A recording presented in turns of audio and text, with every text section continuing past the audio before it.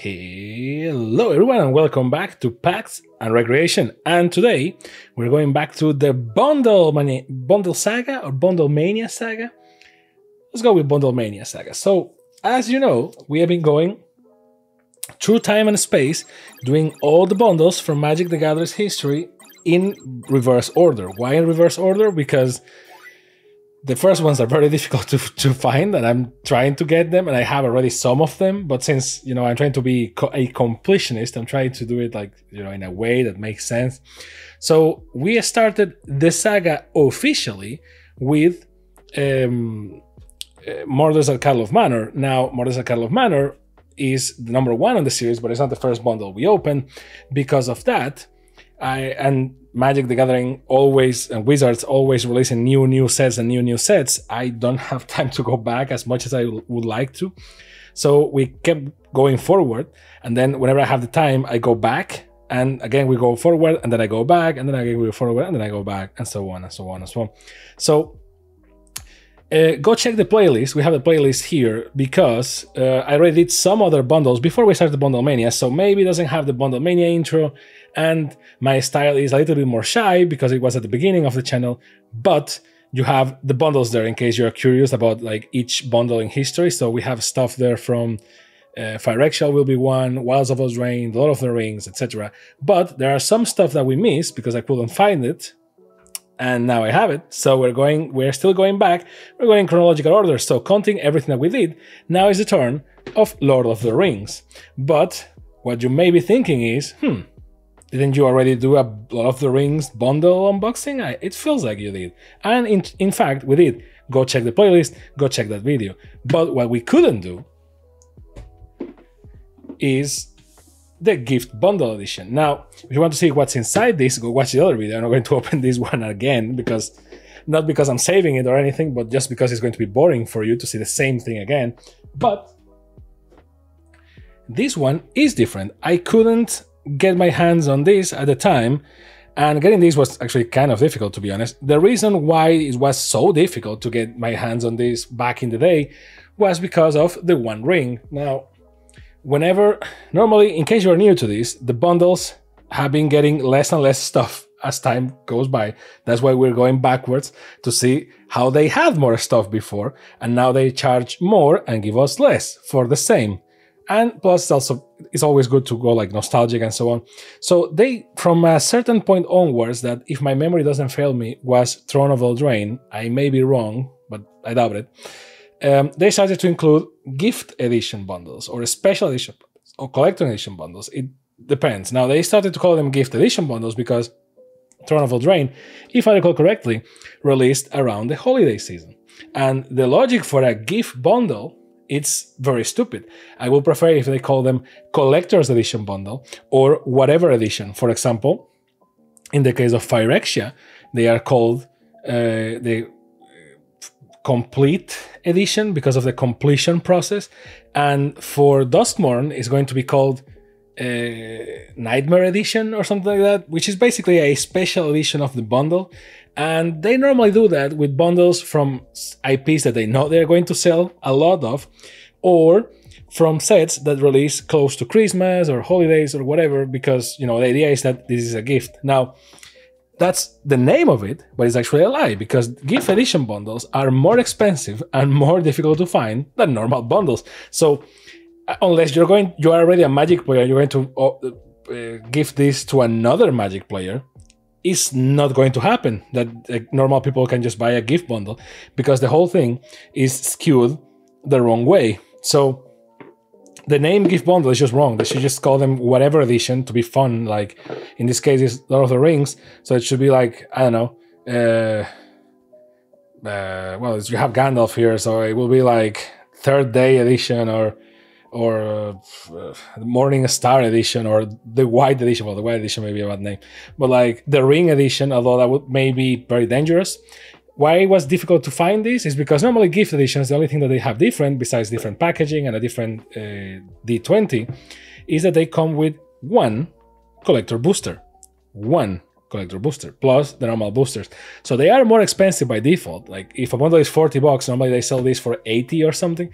And in the case of the Rings, in case you don't remember, because we're like more than a year uh, away from this now, almost two, uh, not almost two, but more or less, like this went by very fast and people went very crazy about it because the one ring was only in collector booster boxes and people and it wasn't appearing anywhere. So people assume that since the gift uh, bundles normally are released like a month after the, the official release date of the set, this was the one that included the One Ring, so that the popularity will be, or, or the craze for the One Ring will be alive for a month, and then they will include it here.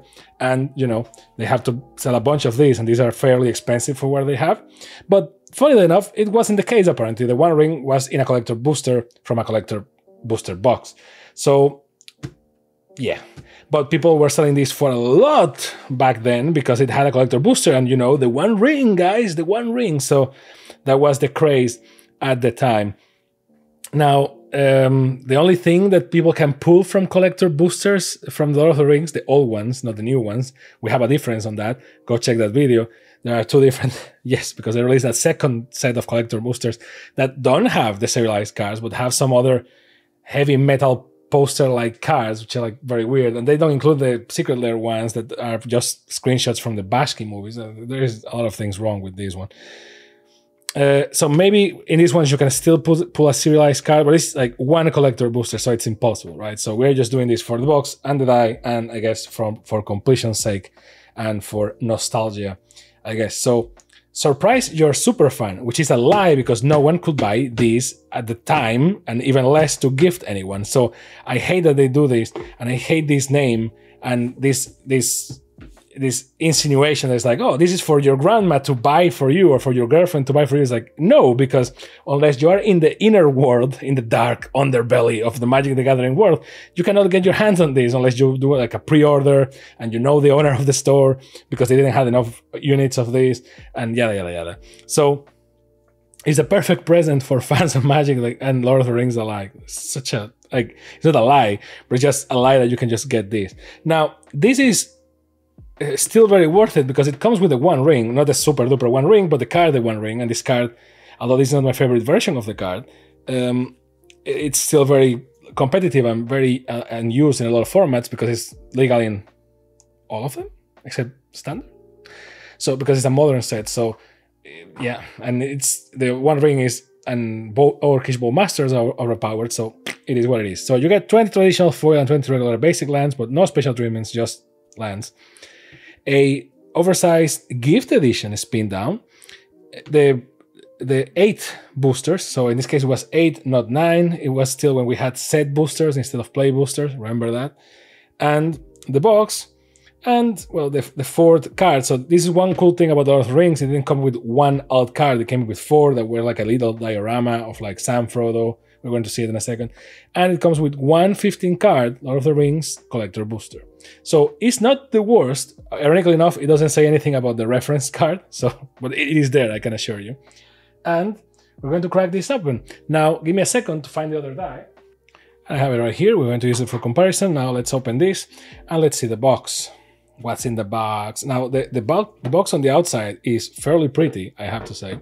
And it's a shame that once you open them, you can't re-sleeve them in in in the in the box wrapper because th these things happen and they're just useless once you open them. But hey, you're here for the cardboard box, not for the cardboard cover.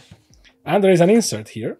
The insert is different. You can go see the other one in the other video, but let's see. The insert is an invitation to um, Bilbo's birthday. I don't know half of half of as much as I should like, and I like less than half of you, half as much as you deserve. So very good, not bad. And this illustration of Gandalf that is kind of Asian for some reason, and doing the the fireworks, which is the the fireworks card. It's called the Wizards Fireworks or something like that not bad. It's not 100% like flimsy paper. It has some consistency to it, but you know, it is what it is. It's not a poster or anything. Now the box. What's in the box? The box is nice. You can see that it's already It has some marks because of how the box is done, because it was protected by the other box, so it shouldn't happen. The normal box, which again, go see the other video, was more like Mount Doom uh, from the inside, and here you have, uh, which I'm going to maybe say the name wrong, but I'm assuming that's Barad-dûr. Yeah, falling apart, and you have the the eagles um, taking away Sam and Frodo uh, as they go back. And this is one of those that is like the full piece of art around the box instead of like the, the art repeating twice and Lord of the Rings Tales from Middle Earth above, which is not bad. It's kind of, you know, it's more like serene, but it's the end of everything. So I guess that fits. Now, this is from that era where we still had the box for the boosters. Um, ha we have the sleeve, and this was a different sleeve because it has it had this hole on it to fit the box. This is all legacy now, folks. We are in 2024, and yet this is legacy. Crazy how Wizards just keeps removing stuff from bundles. Um, now, a divider, not a bad looking one. You can go check the art for the other. And Gandalf, which I swear to you, I didn't know this was the art, but I picked this playmat for this video and it's the same art, so it's great. And there you go. Not much here, nothing to go crazy. No, no one's going to buy the bundle for that. Now, the die, interestingly enough, I think this is easier to read than the other die. Let me just cover Gandalf's face because something I realized is that when the playmat has a face, the camera goes crazy. So, um, see that there is like particles in there, which is cool because this this is the Mount Doom one, I guess. So it's like lava and the ring and all that. Like not bad. I like it quite a lot. It's very pretty. I do I prefer it to this one? Well, to a degree. Like I I love how this die looks, which is the, the normal one from the normal bundle. I love how it looks. Very elvish um, very elvish and you know overall very cool. But and technically it's not the same decoration around the numbers but this one makes the numbers more difficult to read i think. Maybe it's the color contrast. The fact is that i love how this die looks but i never use it because every time i need to throw it i need to be like uh, and because the numbers are not that easy to read. These ones seem easier to read but i can tell you right away it's not going to be also like my number one die to throw around because yeah. But it's very pretty. And the trans the transparent type of die with the embers inside is kind of cool. Similar to the one in um, uh, the, the the amber one from Jurassic Park from that bundle. Again see the playlist. Or or the one from Thunder Junction that looked like an explosion or something. I don't know what the logic for that one was. But you know not bad. Actually pretty pretty. So the die but you know, who buys this specifically for the die? I mean, sometimes I do, but you do it for the cards. Now there is that. Remember the box? Remember the box? So there is that. Our lovely little box and the lands, the promos, and some lands, the collector booster, and some of the set boosters. Remember set boosters? There you go. I, I don't miss them as much as you may think, because set boosters uh, like that that whole SQ div division is just horrible. Um, let's just open this, I guess, for you to see. So before we open boosters, paper wrappers. So the basic lands, nothing crazy. You already know these ones.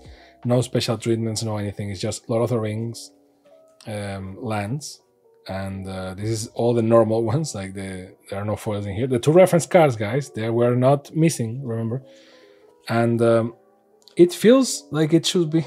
Wait, am I blind or something? No, no, it has to be in the other one. So you have all the colors here. You have like four copies of each, which is something that we are also getting less of nowadays, believe it or not. Um, so I'm going to put the lands here, which is where we're going to put them. And then for the promos, ironically enough, the alt card here doesn't change. Like in their defense, these cards look at look at that. I just I literally just opened it. Like they're already banned by default.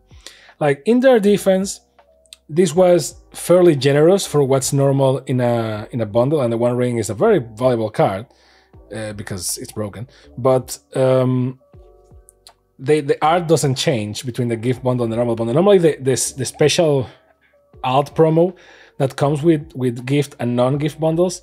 Um, sorry, Gandalf, you can see, otherwise the camera goes crazy.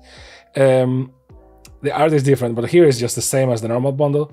Which again, they gave four cards, which they normally give one, so you know it's it's okay. Again, this is not my favorite One Ring, but it has Gollum on it, so it's kind of kind of tells the story there. So you have the four promos that you know the the, the mini diorama thing, and then you have two and two in foil, which again is more than what we get right now. And uh, a very bad foiling process, which I just remember that it was the case for Lord of the Rings. So, boy, does it suck. So, white, white, black, colorless. Can, should we put them in the spot? Uh, why not? Let's put them in the spot um, as they normally are. So, white, white, black, and colorless. So there is that. Now let's open the boosters. And yes, we're going to open the collector booster last. Oh, this was an easy one to open. We're not going to, we're not hoping for any crazy pulls here. Remember, um, the, the point of the normal boosters is just to, well, as they say, as they said back then with the set boosters, is just to have fun. Art cards, which nowadays are a lot more difficult to get. Um, normal land, Banish from Edoras. Again, this is not like the second wave of Lord of the Rings cards that they did. This is the original one, the OG. So there is no special treatment or anything. It's just the cards that you're already used to, and these are normal boosters. So nasty end in full art, and ooh, Phial, Phial, Phial of Galadriel uh, is a rare, and then the foil is Glorfindel, which a lot of people don't know who he is because he's not in the uh, movie. And, oh, there's a card from the list Rain of Daggers. Destroy all your opponent creatures. For each creature destroyed this way, you lose two life. And that bold text right there, going crazy. So, not bad. Uh, I'm going to just put the green there, just to, because Gandalf is making me go crazy. So, yeah, cards from the list. That was another one. I one thing I have to tell you, I am not like if we need to have boosters, I prefer that we have like two types of boosters, like the normal boosters that you play with and come with stuff and the collector boosters, which is you pay more if you want, and you get a special treatment. So like that's my my jam. That's what I you know. It feels fair, doesn't confuse people. Everything is simplified, you know. But so I'm not that sad. I mean, with bats, not bad. I'm not that sad that they. Oh, Sauron the Dark Lord, let's go. I'm not that sad that they uh, kick to the curve the now this this I hate. The just add the cards it's just like give me a token on the other side. Like what I'm supposed to do with this? I hate these cards like with a passion. It's like I'm already buying magic. Don't give me an ad for magic. Like uh, at least make it an ad for Baldur's Gate 3 or or for the Rings of Power in this case or something even though Rings of Power sucks but so going back to what I was saying um the set the the you know the set boosters one thing that they had good is that you know they they were for fun. So you know you had like the stuff in there right? Like you had like oh there's always an, an art card which a lot of people didn't care for but i love them. Because they actually like collectible cards not playable ones but just you know because I, I back in the day i collected like marvel cards and so on. One of these days if you guys want i can do a video on those um, because those were the um, like my first trading cards ever, I have a lot of them. I have a big collection of them from Marvel, and you know the ah, what was the name of the company that did them? Fleer Ultra, I think it was. Oh, Legolas Master Archer, not bad. Um, like I have a lot of that. Uh, that was my oh, where's Gearhulk? Another one from the list. I have a lot of that from that time in my life. So uh, that's why I don't dislike art cards. Plus, you know, art is really deserves some appreciation because this game couldn't exist without artists. Like you know, carries over the everything. I will say. Um, but set boosters, you had a art card, and most of the time you had an extra thing. So you had a foil, and sometimes you had a wide, uh, full art card, which is the case for Lord of the Rings, not for all sets. So you had a full art here, which can be any type of card, then you have a there's a special treatment here, and that is the rare or mythic Aragorn Company Leader. And then you have a foil, right? And that, that multiplies your chances of getting something cool. And sometimes you get a token, but I love it when we get a card from the list. I kid you not, I think cards from the list, um, and it's a shame that they are because now play boosters, the, the extra slot has to compete with everything in in Magic. So it can be a token, it can be a an art card, it can be a card from the list or from the guest stars or whatever. Um, so now it's they are less common, but every time, like when you do like this with a booster, and you see this, you know already. But when you do this with a booster and you see the back of a magic card, you get excited because it's like, oh, oh, oh, oh, oh, is that a card from the list? And a card from the list always feels like a like a bonus track. Like, you feel like you're getting an extra card that you are not supposed to. And since they are from the list, it's always cards from Magic's history, so it's always cool to see them, right? And sometimes they are very good reprints and very cool cards. So, you know, I I like the list. And for Wizards, it's whatever. I know that again they treat this as an economy, but still was a cool is a cool economy thing, at least for my brain. I go look and see like, oh, okay, this going this gonna be a cool card because, except with sets with double-sided cards like Innistrad and so on, because whenever you get the back of a Magic card, you know, like like this, you're like, yay, crazy. And it can be just one of those placeholder cards where you write which card it is when you have a, a double sided card. So that was a, a sucky one. Um, but overall, I overall I just like. It's funny that I'm talking about set boosters. Like you know, it's like oh, this that meant that much time ago. Remember set boosters? Like it's not even a year, but still, it changes so much the, the dynamic of opening boosters and, and the game itself. But not only the game itself, the market itself and like how you perceive value of some types of cards changes a lot with this. Um, because you, you think about cards in one way or another, depending on how easy it is for you to get them as a normal human without having to buy singles. Like, for example, foils, they are not, see, like magic card back, so card from the list. Great already. Ooh, the card from the starter kit, which we have a video on, by the way. So go check that one as well. Um, overall, it feels like I don't know. I like it that they keep changing stuff, so it keeps you know it keeps feeling fresh. I prefer that they simplify stuff, so like the less booster types, the better.